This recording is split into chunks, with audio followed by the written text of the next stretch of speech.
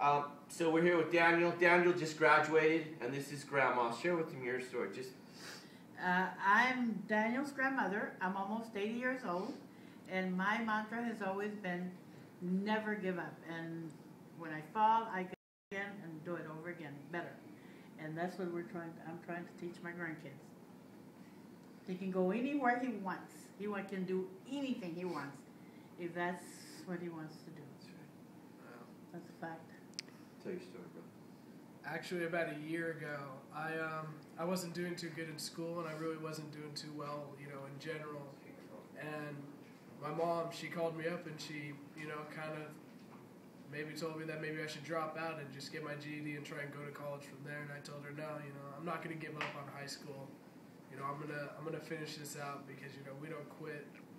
And you know, I wasn't just gonna gonna gonna give up. You know what Samson Ware's uh, slogan is? It's never give up.